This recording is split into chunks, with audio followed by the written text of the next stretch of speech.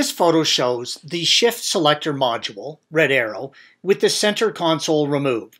To gain access to the selector module, it is necessary to remove the center console.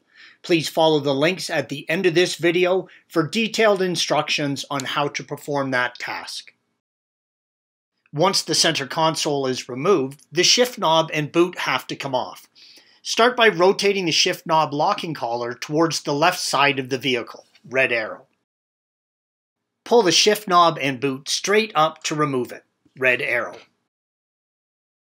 Next, working at the front of the shift selector module, disconnect the electrical connectors, red arrows, by pulling them straight out. Remove the three 10mm shift selector module mounting fasteners as indicated by the red arrows. Next, you will remove the shift interlock cable, yellow arrow.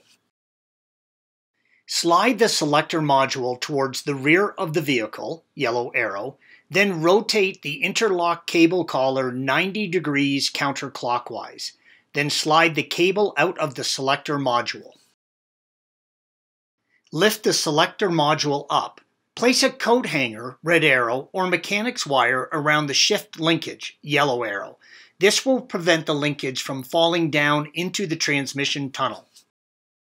Lift the selector module just enough to access the clip, yellow arrow, then press the tab on the clip, red arrow, and slide it straight off the shift linkage and selector module lever.